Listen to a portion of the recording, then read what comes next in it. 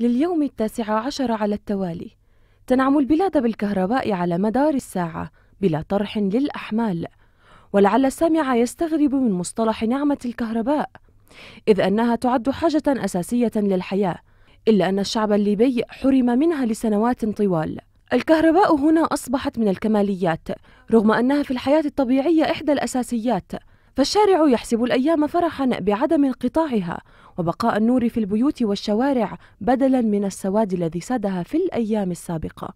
الشركة العامة للكهرباء أفادت بعدم طرح الأحمال في أجنحة الشبكة الثلاثة الغربي والجنوبي والشرقي. بالتزامن مع تغير الجو وبدء فصل الخريف وطالبت المواطنين بمراعاة المتغيرات المستجدة على الشبكة وأكدت لهم أنه في حال زيادة طرح الأحمال يمكن للمواطنين الاتصال بالشركة.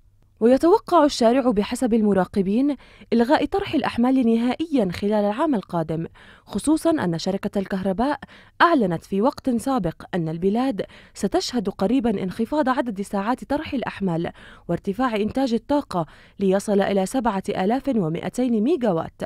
إلا أن السؤال يطرح نفسه هل ستفي الشركة بهذه الوعود التي عاهدنا سابقا عدم الإفاء بها؟ بسبب الكوابل أو غيرها وهل ستبقى الكهرباء في المرحلة الحالية مع الانفراجات الحكومية التي تشهدها البلاد في الفترة الحالية أم أنها ستذهب مع الذاهبين أو تبقى مع الباقيين؟